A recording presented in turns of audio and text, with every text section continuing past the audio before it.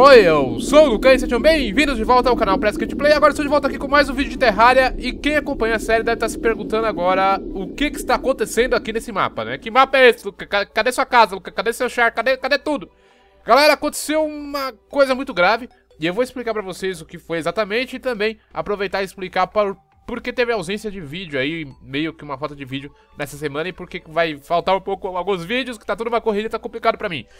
Primeira coisa que aconteceu, galera, meu Windows corrompeu-se. Eu, meu Windows deu pau, minha máquina deu pau. Eu tive que reformatar a máquina, tive que reconfigurar. Tô configurando ainda um monte de coisa. É muito detalhe, como eu trabalho com muito software, tem muita coisa pra mim estar tá resolvendo, pra mim estar tá instalando, plugin pra estar tá vendo. Tá uma confusão danada aqui. E o que acontece, galera? Junto com a formatação do Windows, foi-se o meu mapa.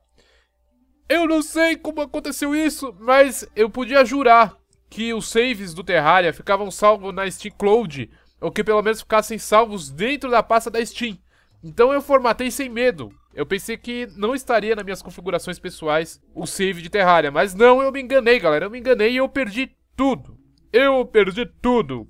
150 horas de jogo, galera, pro saco. E se tratando dessa série atual, né?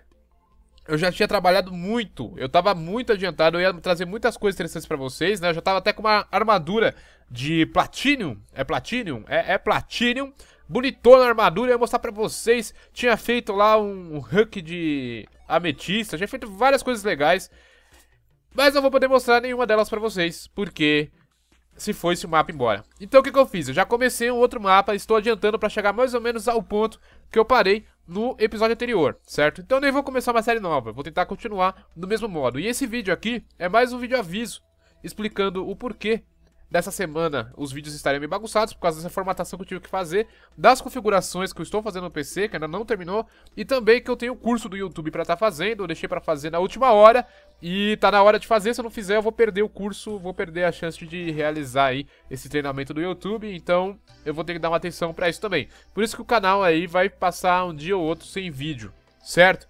Então por favor não me odeiem por isso. E aproveitar que eu já tô aqui dentro do Terraria e mostrar as coisas que eu já consegui. Vocês podem ver que eu tô com um visual bem estranho, cara. Esse personagem tá muito tosco, cara. Tá muito tosco. Eu estou usando aqui, no caso, uma armadura de cactos, certo?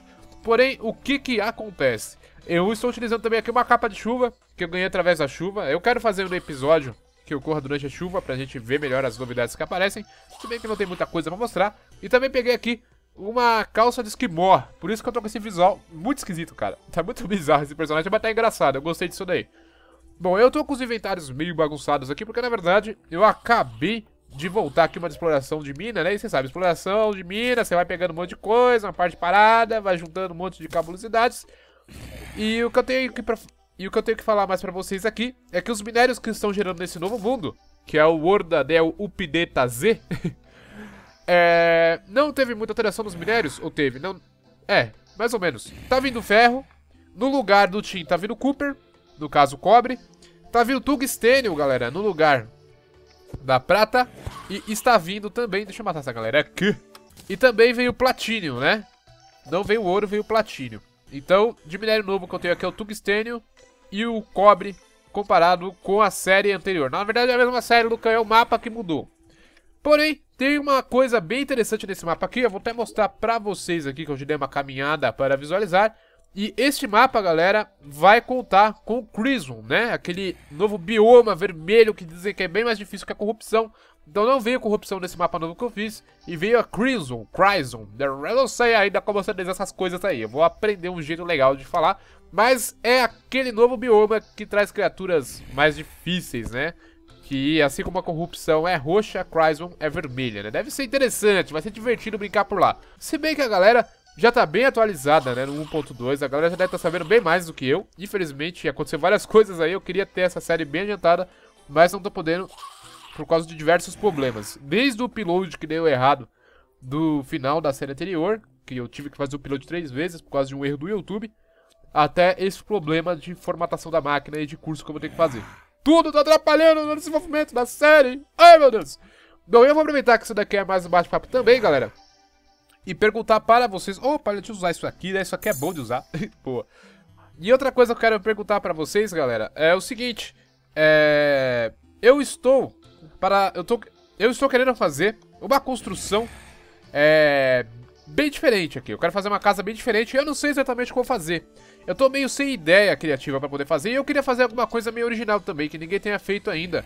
Ou que poucas pessoas tenham feito. Eu pensei em fazer uma... Uma catedral, mas catedral é uma coisa meio normal, mas eu faria até uma catedral. Eu estava pensando em construir a minha casa, uma espécie de castelo com várias áreas diferentes, lembrando assim meio que um Castlevania.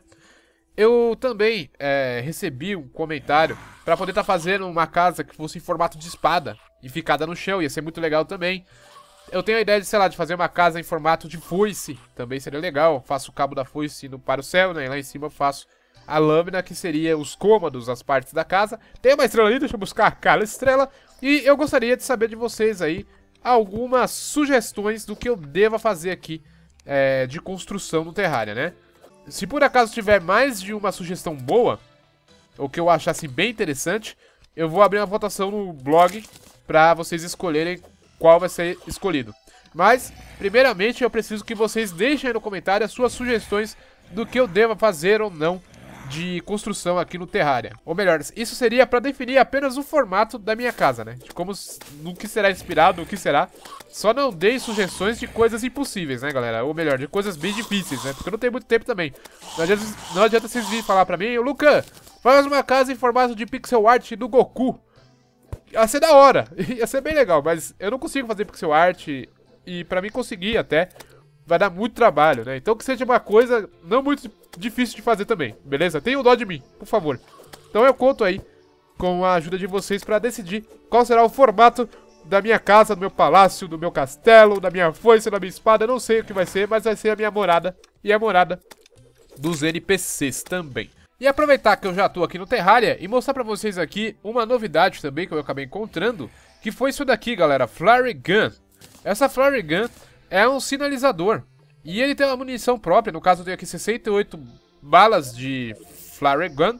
Eu encontrei ele num baú, certo? No subterrâneo. É, eu não sei se dá pra recuperar a munição dele. Ele até tira um dano das criaturas, mas não é o foco, tá? Disparar contra as criaturas.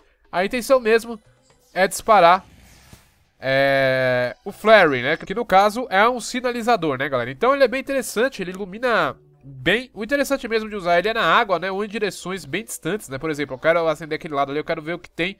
Não quero chegar perto. Então eu vou lá e dou um tiro de flare.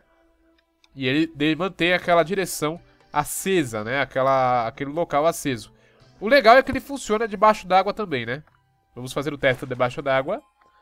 Mas ia ser legal achar uma água mais aquática, né? Uma coisa mais profunda. Aqui, ó, por exemplo, eu quero ver o que tem lá no fundo lá. Não tô conseguindo ver o que, que tem. Então eu uso o Flare aqui pra poder dar uma olhada no que tem no fundo. Então, vai lá, Flare. Tá vendo? E ele vai embora. Eu acredito que ele não tem limite de distância que ele pode percorrer, o que faz dele também uma boa pedida para encontrar é, ilhas flutuantes, né? Então a gente pode disparar alguns flares para o alto e se a gente ouvir o barulho desses matos quebrando, né, esse barulho aqui, isso quer dizer que tem uma ilha flutuante no lugar que a gente disparou o flare, né? Vamos soltar uns três aqui pelo alto pra ver se a gente já encontra uma ilha. Já pensou que sorte? Ah! Nada. Ai, caramba! Voltou! Ai, meu Deus! Ai, meu Deus! Beleza, esquece que eu disse, os tiros voltam de flare. Infelizmente, os tiros voltam, eles não vão para o infinito e o além, né? Mas, de qualquer forma, ainda assim é um item interessante. Eu só mesmo não sei se tem como a gente recuperar a munição dele, mas aparentemente não tem como. A não ser que seja com algum outro item que eu não conheça, que eu não tenho encontrado ainda. Eu até pensei na hipótese de ser as tochas que são lançadas com o flare, mas não é exatamente isso que acontece.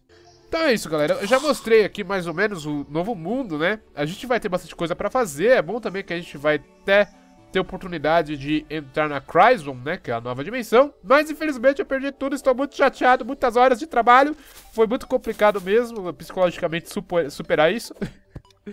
Mas estou aqui, né? Continuo, né? Não vou desistir. Por vocês eu continuo, estou abrindo aqui mais um mapa. E vamos começar do início. Já comecei, já estou bem adiantado. E vamos lá, continua a série que eu sei que vocês estão gostando e eu quero continuar com a série. Lembrando também que eu estou fazendo sorteio, galera, de Terraria original, tá? Então, quem tiver interesse de ganhar uma chave de Terraria, eu vou deixar um link na descrição para o vídeo onde eu estou falando da promoção, certo? Pra quem tiver interesse de ganhar uma chave original Steam de Terraria. E é isso, galera, é isso. Eu vou encerrando esse vídeo por aqui, era mais pra dar os recados mesmo, né, uma coisa boa, nos falar o que tá acontecendo, a tristeza de ter perdido o mundo e por que que não tá tendo muitos vídeos no canal. E é apenas isso mesmo, certo? Então, vamos lá que a série vai continuar. Fiquem tranquilos, tranquilos. Não esqueçam de deixar as sugestões aí de construção. Lembrando que, de preferência, que sejam ideias originais, beleza? E é isso. Muito obrigado a todos que acompanharam o vídeo até aqui. Um abraço forte e fui! Valeu!